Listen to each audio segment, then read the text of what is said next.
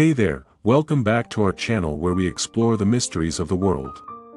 Today's topic is mermaids, the legendary half-human half-fish creatures that have fascinated people for centuries. Have you ever wondered if mermaids were real? What would they look like and how would they survive in the ocean? Well, today we're going to dive deep into the science behind mermaids and answer some of these questions. So, let's start with the basics. What exactly is a mermaid? According to folklore, mermaids are aquatic creatures with the upper body of a human and the lower body of a fish. They are often depicted as beautiful, seductive creatures who lure sailors to their doom. But what if they were real? How could such a creature exist in our world? To answer this question, we need to turn to marine biology. In the ocean, there are many animals that have adapted to live in the water. Whales, dolphins, and sharks are all examples of animals that have evolved to live in the ocean.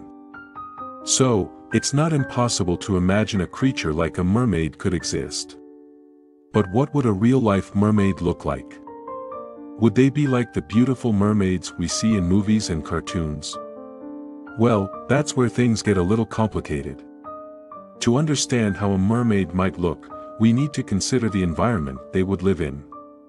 The ocean is a harsh and unforgiving environment, and any creature that lives there needs to be able to survive in those conditions. Deep-sea fish are a good example of this.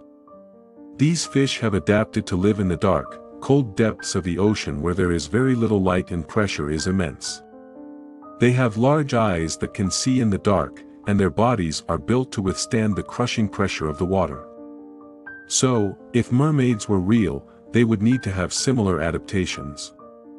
They would need to have gills to breathe underwater, and their bodies would need to be streamlined to swim efficiently. They would also need to be able to withstand the pressure of the water at great depths. However, there's one major problem with this. In order to have gills, a creature would need to have a fish-like tail, not a human-like one. And if a mermaid had a fish-like tail, it would be very difficult for them to move on land. So, it's unlikely that a real-life mermaid would have a fish-like tail and a human-like upper body. But that doesn't mean that mermaids couldn't exist in some form.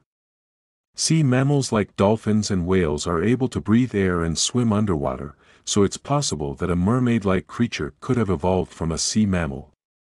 So, while it's unlikely that mermaids as we imagine them in popular culture exist, it's not impossible that some sort of aquatic humanoid creature could exist. And who knows, maybe there are still mysteries lurking in the deep ocean waiting to be discovered. Thanks for watching. If you enjoyed this video, please like and subscribe for more content like.